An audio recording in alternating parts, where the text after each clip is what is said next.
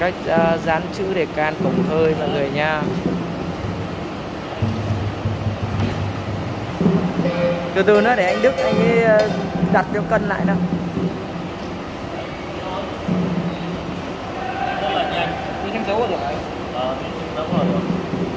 Đặt lên một tí Đức ơi.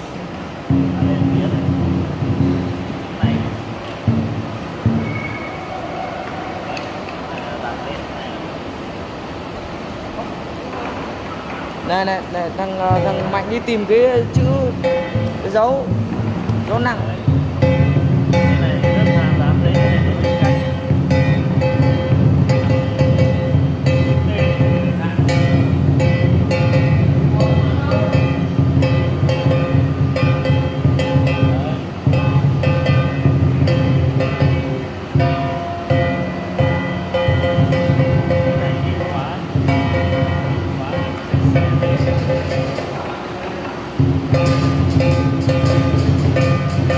Ê, đặt lên một tí, đặt lên một tí. Đặt cái chỗ này lên.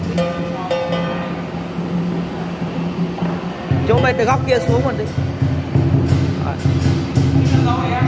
Hả? Cho dấu nặng vào chỗ phạm ở dưới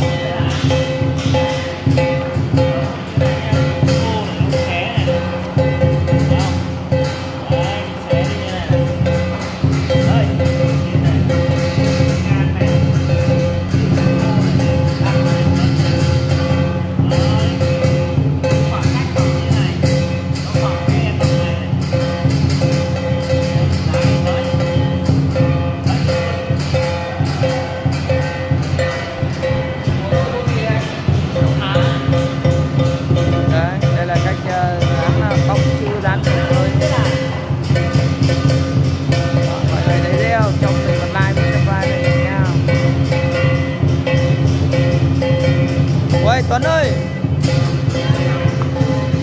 Phải nhìn nhìn nhìn cho nó cân để nó vòng vòng cung thôi nhá. Từ từ từ nữa để anh Đức anh chỉnh lại. Vừa chỉnh lại một Ở đây chỉnh cho nó Nó nghiêng rồi, nghiêng rồi. Cái này để gần lên đây tí